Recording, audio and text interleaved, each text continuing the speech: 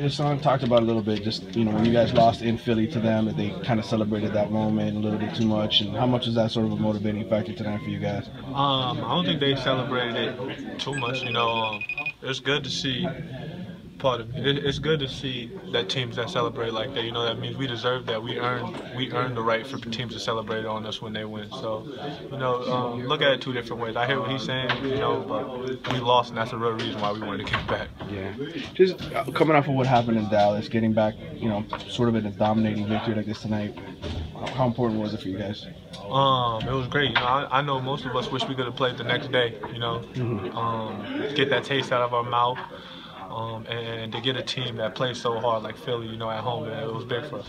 When you spread the wealth, six guys with at least 14 points. I mean, how dangerous is it, you know, and how, how difficult is that to defend? Um, I think that all started with, with our defense, you know, and, and Hassan Whiteside was the leader of that, and he got us going early with all that energy, stab stance, jumping for everything, tipping everything out, deflection. So, you know, I think all the all the scoring and all the success on that end is because of our defense.